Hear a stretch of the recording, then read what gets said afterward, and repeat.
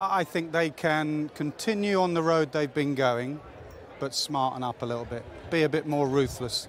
Some of the batting when they were bossing the game at 180 for one, be a bit more ruthless. You saw the way the skipper played in both innings, ruthless, played the situation. Saw Ben Duckett's innings yesterday, brilliant in both innings, and then with three overs to go, he decides to back away and nearly gets caught third man. I think they're the bits that he's talking about that he doesn't want to over elaborate because he doesn't want to throw any individual under the bus.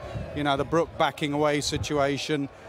I think they are, even from Australia, and I know you've spoken about Carey or whatever, and that is ruthless. Carey standing down the leg side, switched on, sharp, streetwise, bouncer. If he's standing the other side, he doesn't take that ball down the leg side. Three balls, they notice that Jonny Bairstow is leaving the ball and walking out of his crease ruthless, smart, switched yeah. on, run him out.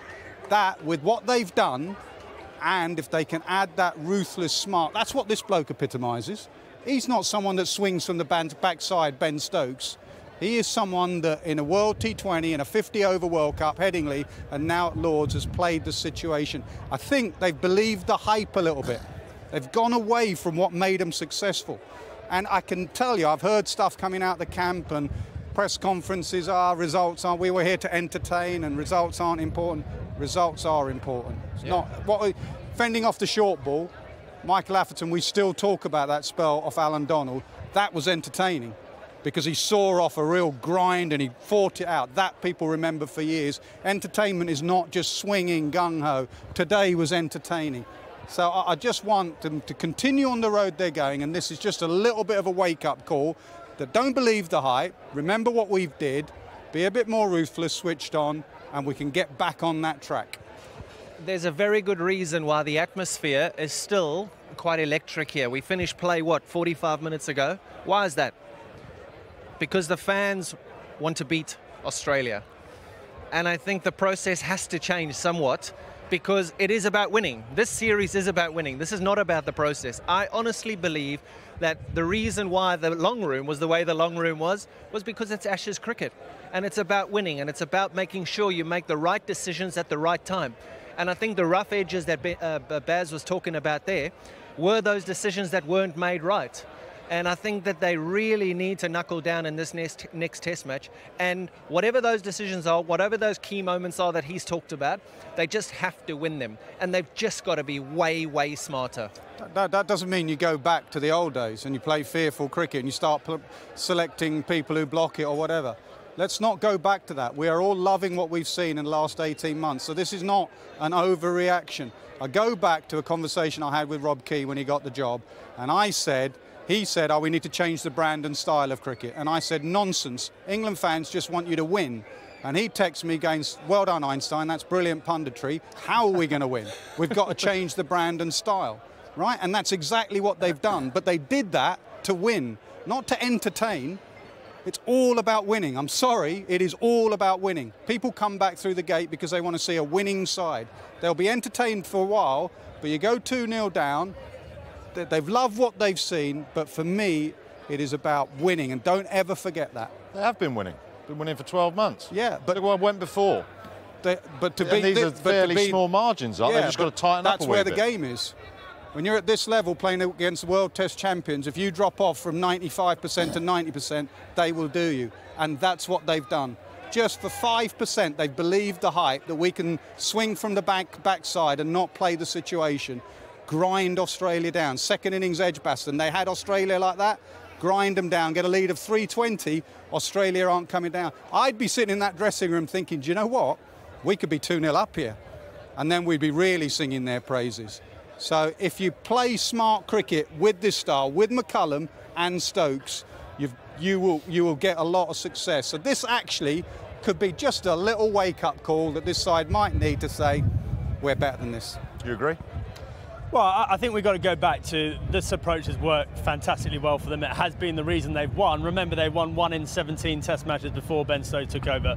But I think that the margins are so much smaller against Australia, and the consequences are that much higher. The context is different. Last summer actually wasn't that much about winning. This is about embedding that new approach, having a bit of a smile on your face but and enjoying won. your cricket, and they won.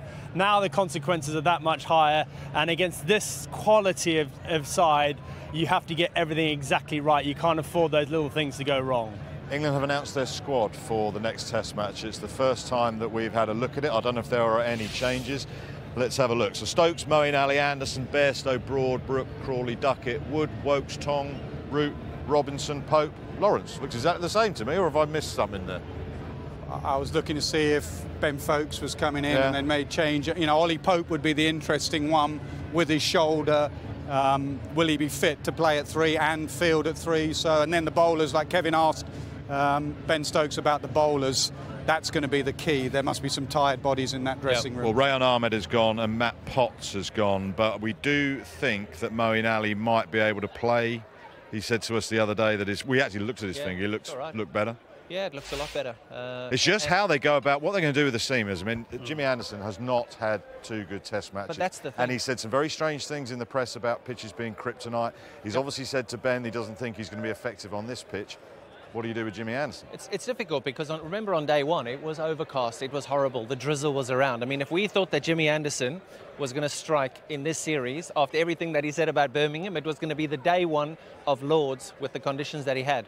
So I think that uh, over the next couple of days we will find out, Wardy, because I think Mitchell Starc was the one who just said, yeah, now there's going to be some bowlers who turn up tomorrow really, really broken. And I think for both teams, uh, we'll find out at the toss. I think I, I think it'd be foolish to name your team Tuesday, I think. Tuesday, they, they named it two days before this test match. I think they've got to give the guys enough chance to recover. And if your team is good enough to win the first test match, which was a week ago, I don't see Ben Stokes or Brendon McCullum dropping people. Uh, I think they're going to keep going the same way and just ask them to just be smarter. Wood, get some pace in. Well, I, I, thought Josh Tongue added an extra dimension to the bowling attack in this Test match. I think Wood will do exactly the same. I thought England looked flat actually in that first session. A little bit of a sort of emotional hangover from Edgbaston. I'd be amazed if they go in with the same bowling uh, attack. I, I think with Anderson, the point is it hasn't swung so far this series at all. So they have to go up to Headingley and see how much it's swinging up there, what the overhead conditions are like. But they're going to need some fresh blood in that bowling attack for me. How do you see it? Uh, probably Anderson is the key one. You know, Ben Stokes stood here and said, Jimmy turned to him this game and said, there's nothing in it for me second time round, and there was nothing in it for him at Edgbaston. So whether Jimmy could do four in a row, I'm not so sure. And you'd want him to play on his home ground at Old Trafford. So maybe on a flat one at Headingley, which he often is. I think Leach bowled 30 odd overs on the first innings at 20 odd on the first day four years ago on that flat one. So I do think that, um, you know, I do think that, that, that Anderson may need to rest for Leeds. Headingley and play at Manchester. Okay.